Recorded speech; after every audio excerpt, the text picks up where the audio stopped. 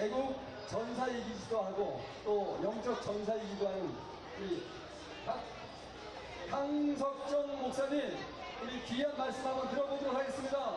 강 목사님 나와주세요. 자, 여러분. 네. 스님도 한번 모셨으니까 목사님도 한번 모셔야 돼서. 네.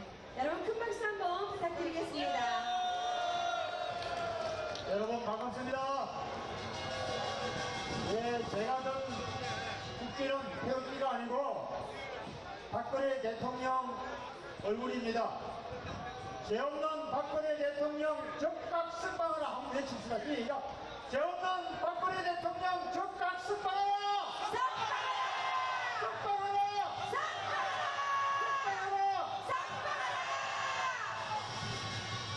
예, 자랑스러운 대전 애국 시민 여러분,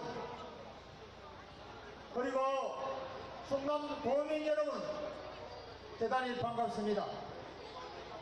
우리는 왜 오늘 이 자리에 나왔습니까? 자유 대한민국을 지키고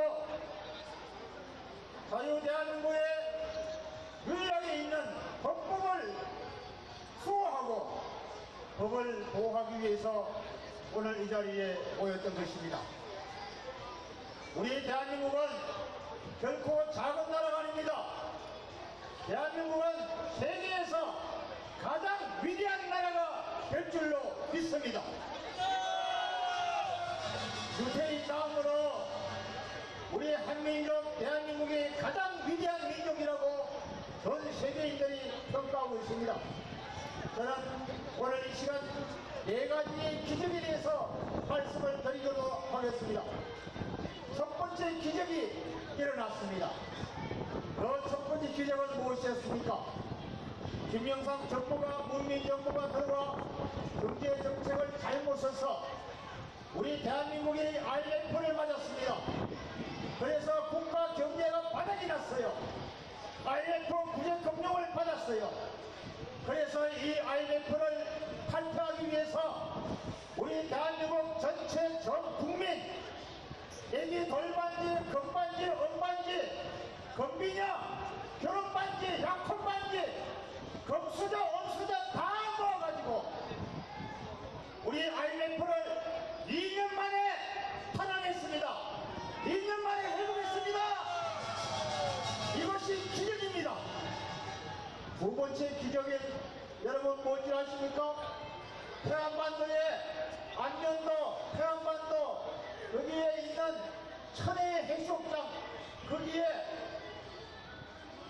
현재 상승과 유조성 기름이 충돌해가지고 기름이 유출됐습니다. 태안반도에 기름바다가 됐습니다. 세계 모든 해양학자들은 말하기를 대한민국의 바다는 오염됐고 대한민국의 바다가 생태계가 회복되려면 100년이 가도 어려울 거다. 많은 해양학자들이 말들을 했지만은 우리는 어떻습니까? 우리의 대한민국 국민들 대단합니다.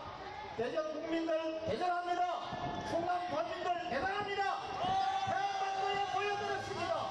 자원봉사자 전국에서 300만 명이 350만 명 이상이 자원봉사자들이 모여서 모래를 닦고 바위덩어리 닦고 조약돌 닦고 닦아내고 닦아내고 닦아내서 2년 만에 2년 만에 회복했는 기적의 나라입니다. 바로 이것이 기적입니다. 세 번째 기적. 이거는 부끄러운 기적입니다. 광화문 광장에서 광우병이 일어난다. 미국산 소고기를 먹으면 미친경이가 된다. 약고병이 걸린다. 그래서 광우병 촛불 시위를 시작하더니 세월호 사건이 나고 세월호 촛불로 일어나더니 이 촛불 혁명인가 뭔가 해가지고 이 나라 정권이 뺏기는 기적 같지 않는 기적이 됐습니다. 그러나 여러분 실망하지 맙시다. 우리는 희망이 있습니다. 마지막 네 번째 기적이 살아있습니다. 네 번째 기적은 저와 여러분들이 들고 있는 태극기 물결 운동입니다. 이 태극기 물결로 대한민국을 반드시 찾아냅니다.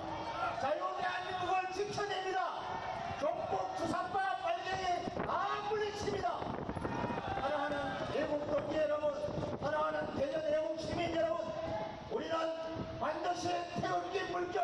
이 태극기 운동으로 태극기 집회로 우리 자유 대한민국을 바로 찾아냅시다. 여러분 어림없는 열과성을 다해서 태극기 운동을 태극기 물결을 여러분 일으켜 주시기를 거듭 부탁드립니다. 감사합니다. 감사합니다. 네. 네, 예, 감사합니다. 여러분 우리 부산에서 이 태극기 물결을 일으켜서 이제 중부전선까지 올라왔습니다.